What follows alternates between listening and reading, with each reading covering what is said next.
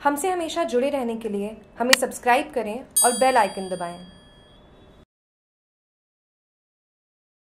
राजस्थान विधानसभा चुनाव में भाजपा की पहली सूची जारी होने के साथ ही बगावत के सुर भी उठने लग गए हैं उदयपुर ज़िले के मावली विधानसभा क्षेत्र में भी भाजपा का टिकट वरिष्ठ नेता धर्म नारायण जोशी को मिलने के बाद मावली क्षेत्र में युवा चेहरे कुलदीप सिंह चुंडावत ने ताल ठोक दी है ऐसे ही आज मावली दबोक रोड पर स्थित धूनी माता मंदिर में कार्यकर्ता सम्मेलन का आयोजन किया गया है, जिसमें बड़ी संख्या में युवा कार्यकर्ता मौजूद हैं। गौरतलब है कि धर्म नारायण जोशी उदयपुर शहर के रहने वाले हैं। ऐसे में वहाँ के स्थानीय कार्यकर्ताओं को मावली के बाहरी लोग स्वीकार नहीं है। सभा के दौरान लोगों ने पैराशूट स्वीकार नहीं का नारा लगाया। धर्मनारायण जोशी वर्ष 2008 के विधानसभा चुनाव में भी मावली से चुनाव लड़ चुके हैं।